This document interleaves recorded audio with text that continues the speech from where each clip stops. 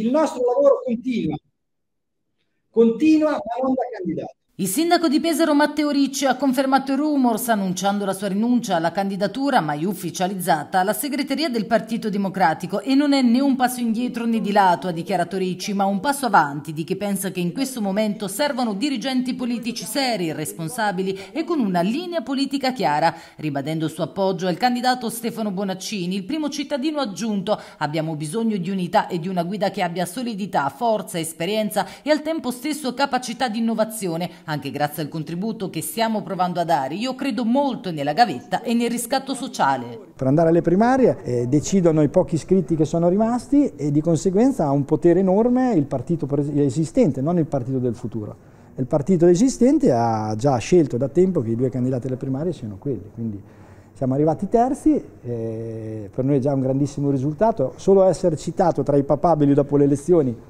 mi ha fatto tremare le vene, i polsi e mi ha dato un grande orgoglio per chi come me è cresciuta a pane politica, appunto, è già un grandissimo risultato, ma non è che ci fermiamo qua, noi andiamo avanti perché per noi non era mai stata prioritaria la scelta personale del segretario, i segretari ne abbiamo avuti già troppi, eh, ne abbiamo cambiati troppi, il punto è avere una linea politica, io cercherò se Stefano in qualche modo garantirà le cose che ci siamo detti in questi giorni, cercherò di dare una mano al nuovo segretario come ho sempre fatto, ma con una linea politica chiara in testa, cercando di aiutarlo sul fronte sinistro, perché altrimenti credo che non, solo lui meno, rischia di essere meno competitivo alle primarie, ma noi rischiamo come PD di non essere, di tornare ad essere eh, nettamente il primo partito eh, nel fronte democratico per guidare il fronte democratico all'alternativa a queste destre. Non voglio incarichi ma ho chiesto a Bonaccini agibilità politica, ha aggiunto Ricci, e al tempo stesso di provare a mantenere un dialogo con il Movimento 5 Stelle. Ma molto è importante innanzitutto che si faccia opposizione, perché eh, le alleanze future si vedranno se si farà le opposizioni insieme. Ci sono tre opposizioni, chi non fa opposizione favorisce la destra e chi non si presenta insieme nelle tornate amministrative e regionali favorisce i candidati di destra.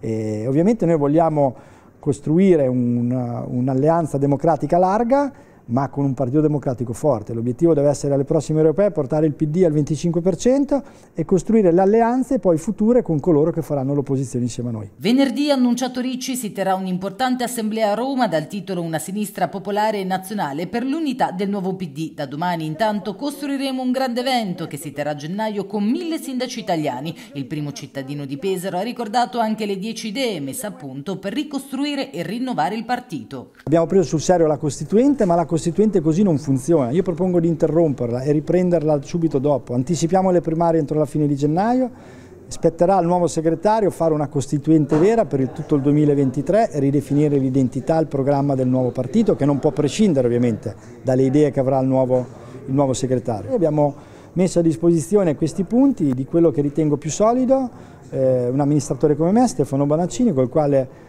Abbiamo dialogato, ha voluto discutere a lungo con me della linea politica, ha assicurato che alcuni punti che abbiamo definito diventeranno punti suavi. Ovviamente noi abbiamo bisogno di avere un partito più a sinistra eh, se vogliamo recuperare i ceti sociali più deboli. Dobbiamo essere il partito che si batte contro le disuguaglianze, un partito che si batte per le opportunità per chi non ne ha.